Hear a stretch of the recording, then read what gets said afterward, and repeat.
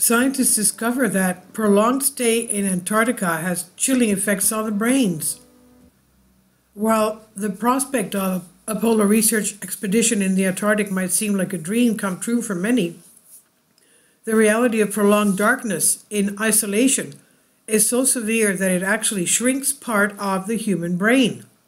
Researchers from Charité, University of Berlin, and Max Planck Institute for Human Development studied the effects of social isolation and extreme environmental conditions on the brains of five men and four women who spent a total of 14 months in the Antarctic, nine of which saw them cut off from the outside world.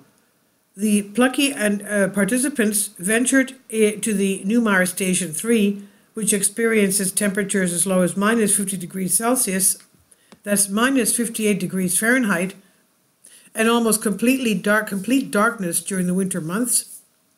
To make matters worse, because of the harsh and unforgiving environment, there was no real chance to opt out of the mission during the winter months. Emergency evacuation and food and equipment deliveries only take place during the summer months. So that is one long winter to spend with little privacy or personal space. This scenario offers us a, an opportunity to study the ways in which exposure to extreme conditions affect the human brain, says study lead author Dr. Alexander Stahn of Charité's Institute of Physiology.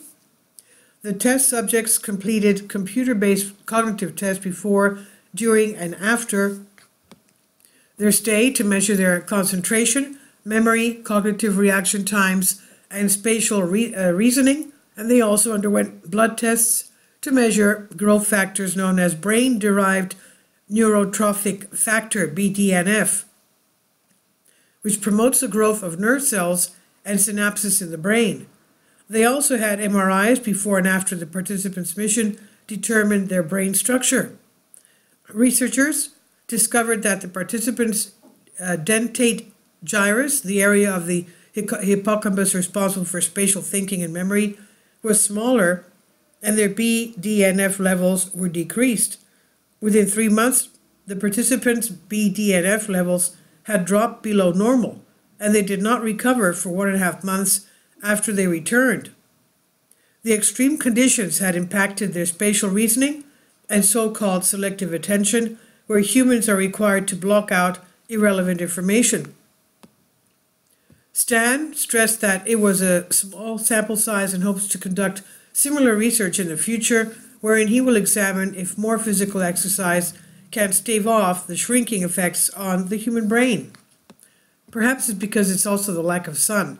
And this is on uh, Bended Reality. Please leave your comments. Thank you for your support. Support my Patreon account.